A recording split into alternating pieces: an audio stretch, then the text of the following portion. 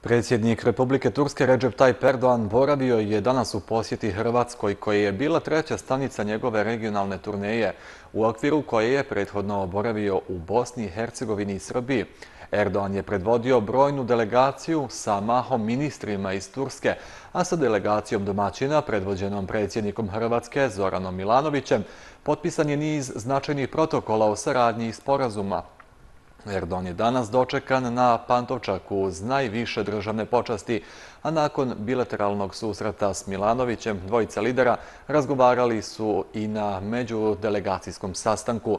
Erdon je istakao da je jedini interes Turske mir na Balkanu, a da su jedinstvo i cjelovitost Bosne i Hercegovine od velike važnosti.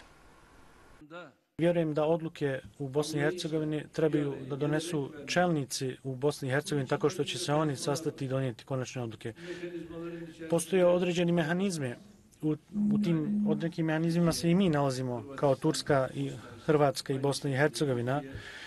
I imamo trilateralni mehanizam Srbija, Turska i Bosna i Hercegovina i možemo se s vremena na vrijeme sastajati i o tome razgovarati. Posebno nakon opći izbora koji će se održati 2. listopada možemo se češće sastajati i ubrzati taj proces, jer jedinstvo i cjelovitost Bosne i Hercegovine je od velike važnosti. Bosna i Hercegovina je platila veliki ceh za to i želim da niko ne plaće slične cehove u budućnosti.